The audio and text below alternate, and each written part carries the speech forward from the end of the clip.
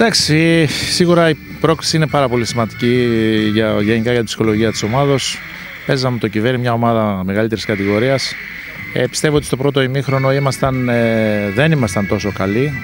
Είχαμε ίσως και λίγο φόβο, λίγο υπερεκτιμήσαμε τον αντίπαλο. Στο δεύτερο ημίχρονο ευτυχήσαμε με στις λιγοστές φάσεις που βγάλαμε να πετύχουμε δύο γκολ. Σίγουρα είναι μια, μια, μια πρόκληση αρκετά σημαντική για μας. Μας δίνει δύναμη και όθηση για το μέλλον. Εγώ είπα και την άλλη φορά, το ξαναλέω και τώρα, κάνουμε ό,τι μπορούμε δυνατόν για την ομάδα. Υπάρχει μια αλλαγή σίγουρα, έχει αλλάξει η ψυχολογία.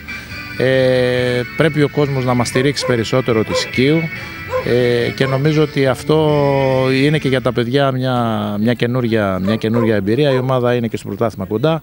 Περάσαμε στο κύπελο, πιστεύω όλα καλά.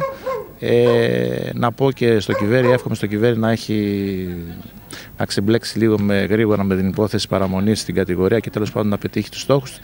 Και εμείς τώρα πρέπει να συγκεντρωθούμε, να ξεκουραστούμε αυτές τις δύο μέρες γιατί έχουμε μπροστά μας παιχνίδι πρωταθλήματος το Σάββατο.